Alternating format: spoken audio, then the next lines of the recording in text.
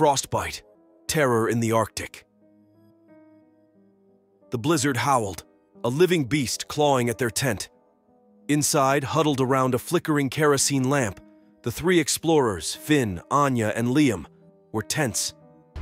The wind whipped snow into a frenzy, obscuring everything beyond a few feet. It's getting worse, Finn muttered, his voice strained over the wind's roar. He glanced at the storm gauge, a simple contraption of rope and a weighted bucket, which swayed ominously in the wind. We're close to a whiteout. We're supposed to be at the next camp by nightfall, Anya said, her fingers tracing the outline of the map on the table. We should head out now before it's too late.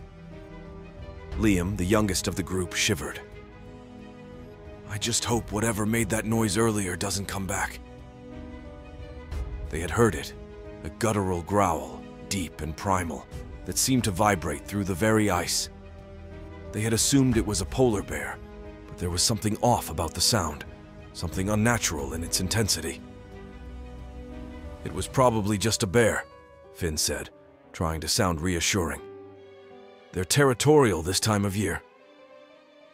But even as he spoke, a nagging sense of unease gnawed at him. He couldn't shake the feeling that something was watching them, something more than a hungry bear. Suddenly, the tent fabric ripped with a tearing sound. A wave of icy wind slammed into them, extinguishing the lamp and plunging them into darkness. A low growl, closer now, sent chills down their spines. Bear! Anya shouted, scrambling for her backpack. Panic surged through them, a primal fear that threatened to consume them. They fumbled in the darkness, their hands brushing against cold metal and rough fabric. Where's the rifle? Finn yelled, his voice trembling. Anya's hand found it, the weight of the weapon a small comfort against the rising terror. The growl came again, closer, closer still. They could feel the icy breath of the creature on the tent fabric, its claws scraping against the canvas. Liam, his voice choked with fear, whispered, It's not a bear. It's too big. Anya, her heart pounding in her chest, squeezed her eyes shut. She felt the tent fabric begin to tear, then a sudden, horrifying pressure as something large and heavy slammed against it. A deafening roar filled the air, a sound that seemed to crack the very ice beneath them. Then, silence. They huddled together, their bodies trembling, their breath shallow and ragged. The tent was torn, the fabric hanging loose, revealing a dark void beyond.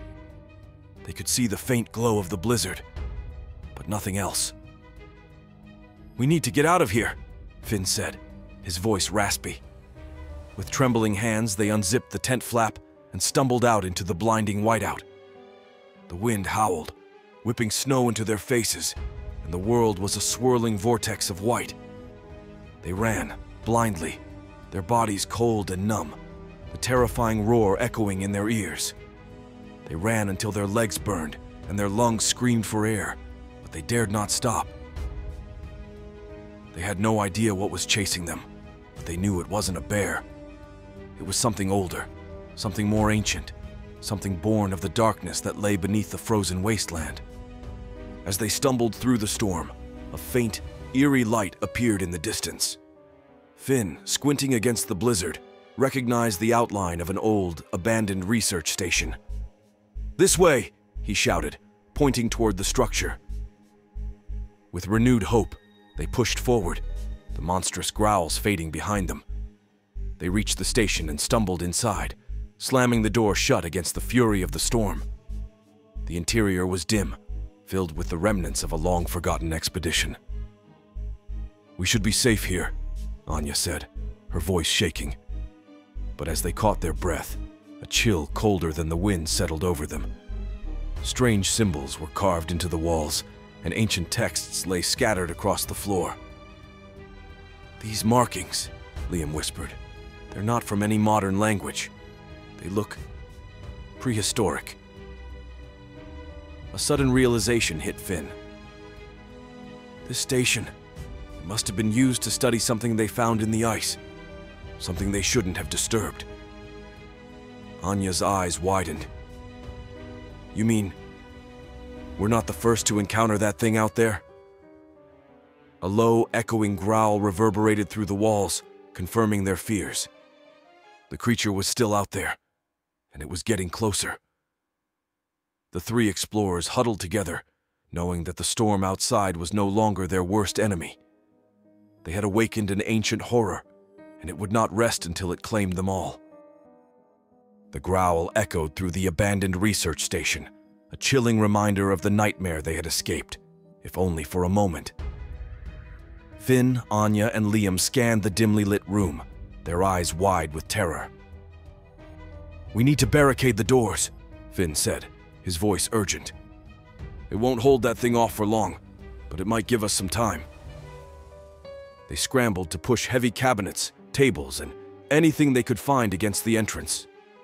The wind howled outside, and the structure creaked as if it might collapse under the storm's fury. Anya examined the strange symbols on the walls, her fingers tracing the ancient carvings. These markings, there's some kind of warning. This place wasn't just a research station. It was a prison for that creature. Liam shuddered, clutching his arms to stave off the cold.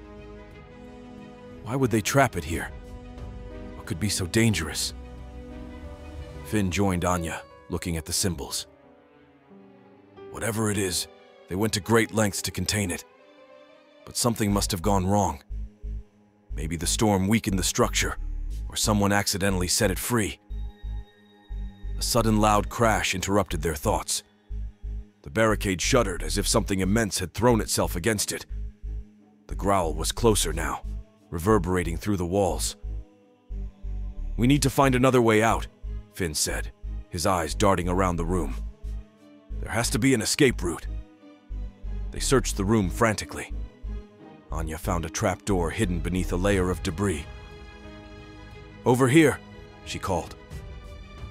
Together they pried it open, revealing a narrow tunnel leading down into darkness. It's our only chance, Finn said, motioning for them to descend. One by one, they climbed down the ladder into the tunnel, the growls and crashes growing louder behind them. The air was thick with the scent of damp earth and ancient decay. The tunnel seemed to stretch endlessly, lit only by the faint glow of their headlamps. As they moved deeper into the passage, Anya's thoughts raced. There must be a reason why this tunnel was here. Maybe it leads to another exit, or a place where they studied the creature. Finn nodded. We have to keep moving. If we can find out more about what we're dealing with, we might stand a chance.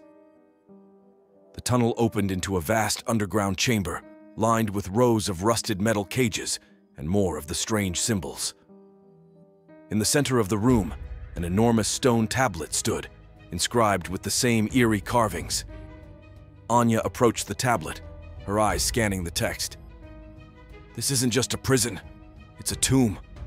They didn't just trap the creature, they buried it alive. Finn shuddered.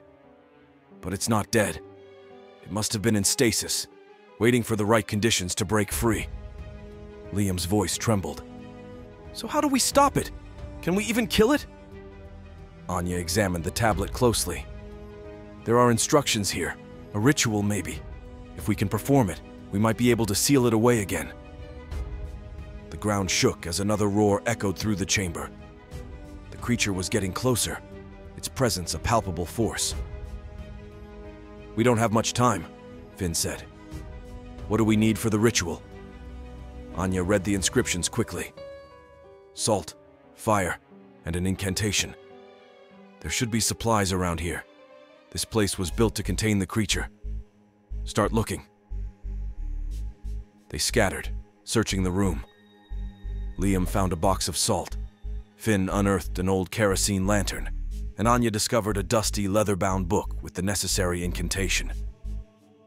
Quickly, Anya said, pouring a circle of salt around the stone tablet. Finn lit the lantern, placing it at the center, and Anya began to chant the incantation. The air grew thick with an unnatural energy. The growls grew louder, the creature almost upon them. The ground trembled, and the walls seemed to close in around them. Anya's voice rose above the chaos, her words resonating with power. As she finished the incantation, a blinding light erupted from the stone tablet, enveloping the chamber. The growls turned to screams of agony, then faded into silence. When the light subsided, the chamber was still. The oppressive presence was gone, and the air felt lighter. We did it, Anya whispered, her voice trembling with relief. We sealed it away. Finn and Liam collapsed to the ground, exhaustion overtaking them. They had survived, but the memory of the ancient horror would haunt them forever.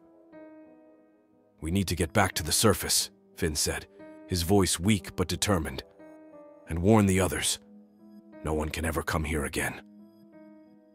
As they made their way back through the tunnel, the storm outside began to die down. The world above awaited them, but they knew that the true danger lay buried beneath the ice, in a place where darkness and ancient evil would forever sleep. Or so they hoped.